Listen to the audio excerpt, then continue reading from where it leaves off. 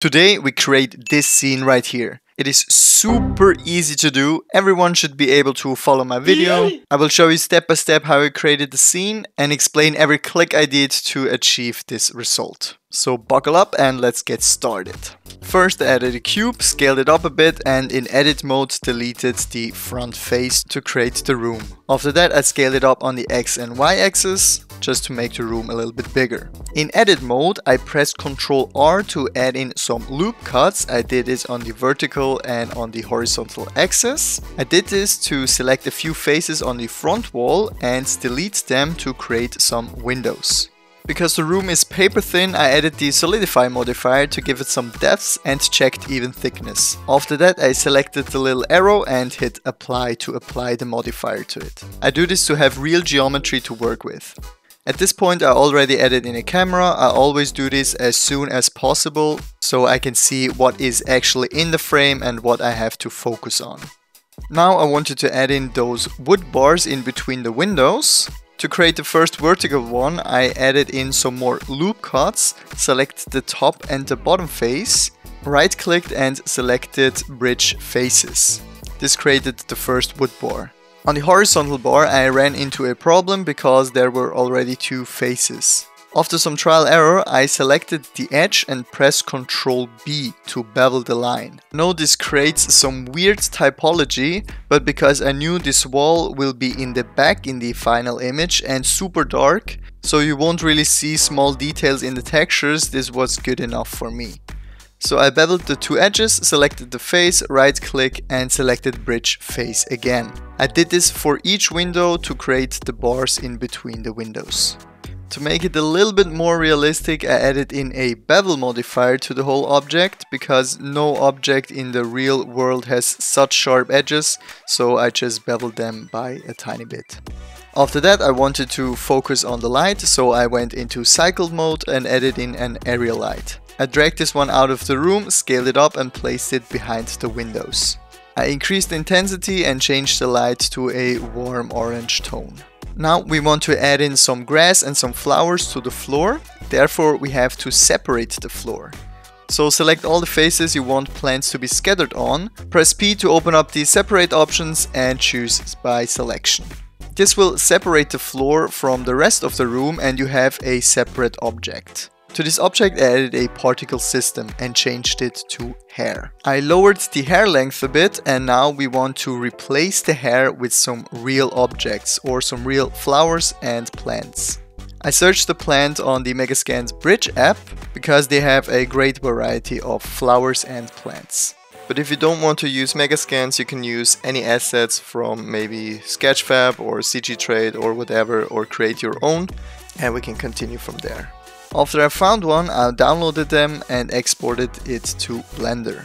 Sadly in the 4.2 versions the material won't get exported, so I have to do it manually. Select all your objects, go into the Materials tab and add in a new material. Press tab to go into edit mode and hit assign, so the material is assigned to the whole object. Now in the shadings tab you can select the principled BSDF and press shift, Ctrl and T.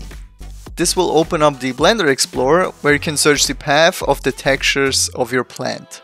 All you have to do at that point is select each texture you want integrated into material and hit import. Because of the node wrangle add-on that is built in in Blender, all textures will be linked up correctly already. Now only one plant has the textures and the rest is still missing it. To fix that you have to select all the plants you want the ma material to be assigned to, press Ctrl L to link the material and choose material. Now we don't want to scatter each individual plant by itself, so we select all the plants, press M to create a new collection and call it flowers. Now in the particle system on the render we can choose collection to scatter a whole collection and choose the flower collection we just created change the scale to 1 and we can see the flower gets scattered around the floor. Because it was a little bit laggy, I changed the number from 1000 to 100 and under children I choose interpolated. This will create duplicates of the same object but it's not that heavy for the PC. The display amount I changed to 25, this is what you can see in the viewport, and the render amount I changed to 50.